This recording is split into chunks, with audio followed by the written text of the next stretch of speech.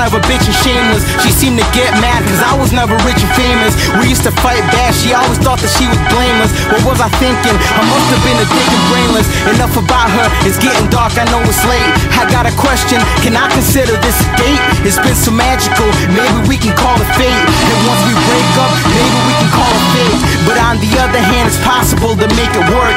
And at the same time, it's possible to make it hurt. Yeah, we could start lying, that would only make it worse. And you could break my heart, maybe I should face some curse. Well, here's my number, call me if you ever wanna speak about anything, dumb shit or even deep. I guess I'll leave you where I found you on this lovely street. My name is Marco,